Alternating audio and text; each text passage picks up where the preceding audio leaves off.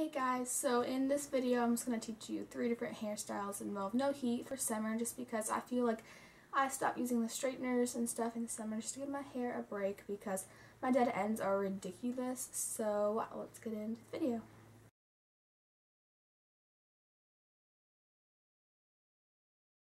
Start off by separating your hair into two separate sections and then you're going to take those two separate sections and kind of twist them inwards like each section and I'll keep on twisting it until you, you hit the length that you like. I did about one third of the way down my hair just because of the hair length.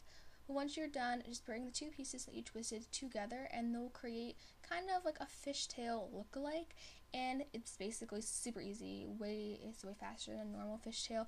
And I just want to secure that off with an elastic. Just the reason you can't like just twist it all the way down and secure it with one elastic is because A, it's not a bubble braid, and B, it will not hold just because the twist will not have enough security with one elastic to stay through the day. So then you're just gonna keep on doing that all, all like basically until you're done. Your hair depends on your length, really. I had three elastics, I believe, and my hair is kind of long. So yeah, you just want to keep on doing that and securing off with elastics and kind of making that bubble braid fishtail look, which I think is super cute. And this is super easy. By far, this was the easiest hairstyle out of the three. So, and it's really cute. So once you get to the ends, I'm not gonna lie, the end is pretty hard just because they're so tiny and it's kind of hard to twist it and like have control of the ends. Uh, so you might have to do that a couple of times. But once you're done, you secure it off with the last elastic, and then you're just gonna want to play around with it make it bigger. I took pieces of my hair on the other side just to frame my face. Once you're done, that's basically your final, like, final stuff. So yeah, I think it's pretty cute. And if you try it, just let me know. And also, like, out of the three hairstyles, um, just let me know in the comments below which one you like the best. So the next one I call the braided braid because basically what you do is you braid a section of the braid. So you want to take off instead of separating your hair into three sections like a normal braid, take just one, the one in the middle, and braid that like you would a regular braid. And make sure all the like the front of the hair isn't bumpy, just because if it is bumpy, it will look kind of rough and it won't look as nice. And I kind of like this one to be more clean. So then you're just gonna braid that all the way down, like you would normally.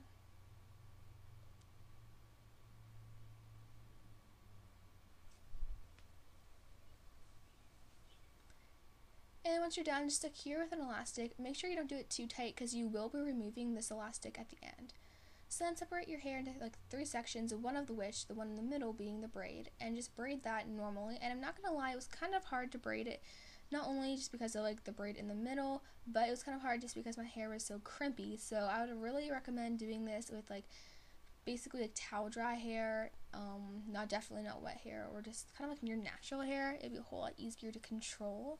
So once you've done that, just like remove the elastic from the middle braid and keep on braiding it just because it will look kind of weird and unneat if you have two elastics, like especially one elastic in the middle of the braid.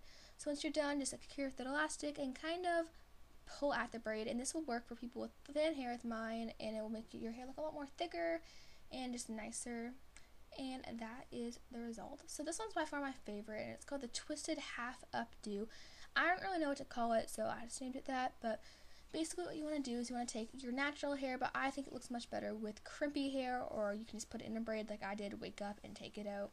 And basically, you want to take all your bangs or as much of hair as you want up, and it's gonna pull back, but make sure you can kind of see your part on the side. The middle parts don't look as good than side parts, but whatever is your preference. So I pulled up all my bangs, and the point of it is to keep it messy, but not like extremely messy, just kind of like, you know what I mean? Like beachy because it won't look really nice if it's just clean because the whole look is kind of just kind of rough.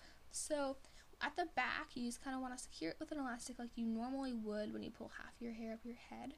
And just make sure like you get no other flyaways or anything in it because it will kind of stick up and won't look as good.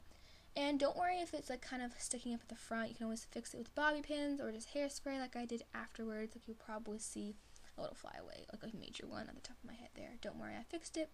So what you're doing with that is separate your hair into two separate sections and just kind of pop the like the, um, the ponytail through the like separate like hole and it'll create this twist and then you just want to pull it and secure it. You can kind of mess around with it until you get it to look nice and that is basically what I did and that's my result I got and I th- think it's really cute and it's a great way of like keeping your hair healthy but also like looking good in the summertime without using heat so I hope you guys have a great day and don't forget to subscribe or comment anything in the comments below. And please rate this video. I love you all and have a great summer. Bye